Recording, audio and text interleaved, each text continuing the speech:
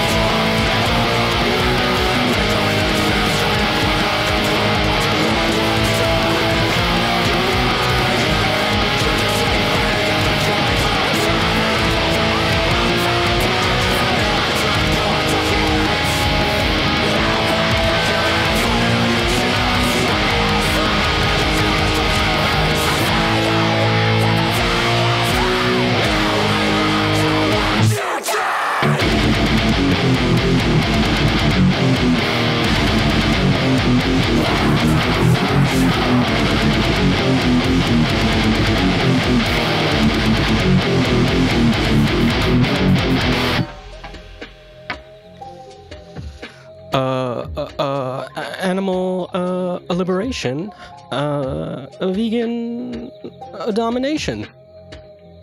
World of Pleasure rules. Love you. Bye.